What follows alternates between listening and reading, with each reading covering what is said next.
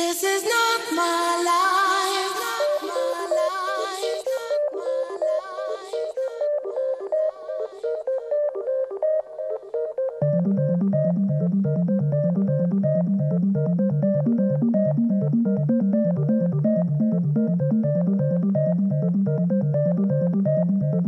That night I had a dream.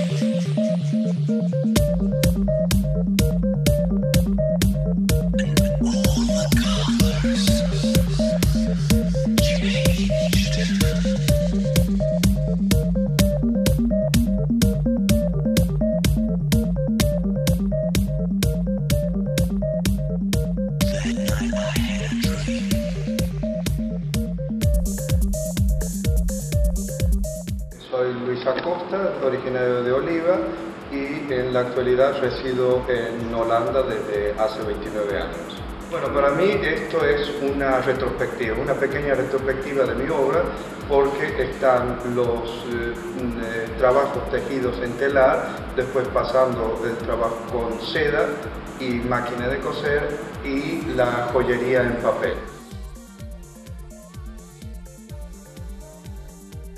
En Holanda me gradué en el año 88 en la Escuela de, Bellas Artes Harry Ritsen de Ámsterdam. Em, después he participado en muestras internacionales, eh, muestras nacionales e internacionales y a partir de ahí comienza toda una carrera de, ya, de, otras, de otras líneas, siempre en relación con el textil. En realidad es que yo comienzo a trabajar con el papel en el año 96 aproximadamente y fue eh, que comencé como experimento con brazaletes, después de esos brazaletes se continuaron con eh, corbatas y de ahí en más he comenzado a experimentar con distintos tipos de papeles, papeles. Para mí el papel como material, como material eh, textil es algo muy importante porque yo tengo que sentir el material en mis, eh, ya, el material en mis dedos y cómo lo puedo manipular a esto.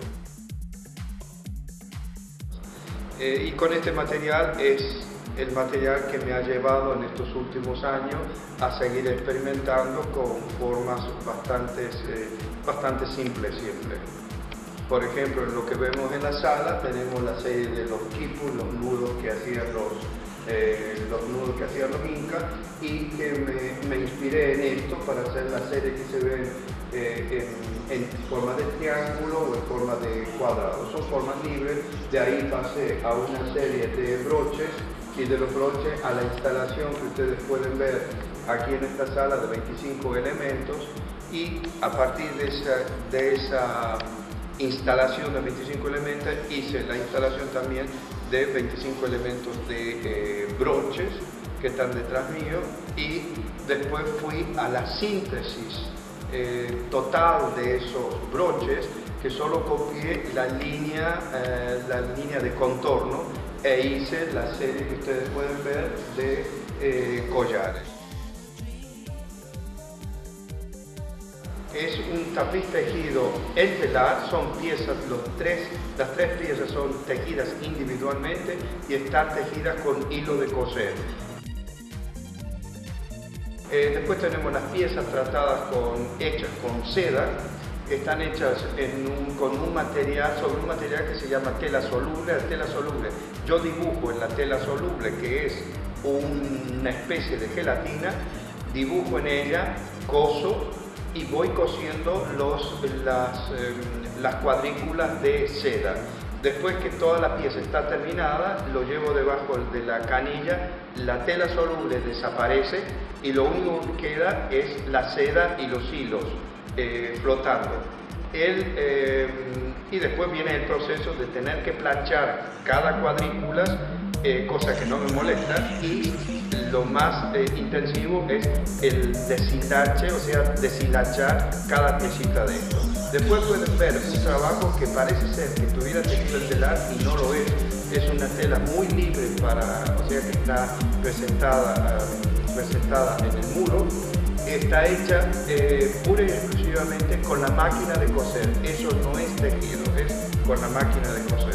Y después pasamos a la otra sala, imágenes tridimensionales, pero en una eh, eh, presentadas como bidimensionales. O sea, es una ilusión óptica, eso no tiene nada de relieve. A relieve lo obtengo con los colores que utilizo. Estos eh, collares son para mí mis hijos predilectos. ¿Por qué son, por qué son mis predilectos? Tres de mis brazaletes están en la colección permanente del Museo de Arte y Diseño del Pabellón. para mí esto es una muestra muy muy importante porque no es solo que es una retrospectiva mía, porque es el trabajo mío desde hace 23 años, eh, sino también porque es la primera de esta magnitud aquí en Argentina y más de todo en mi provincia, Córdoba.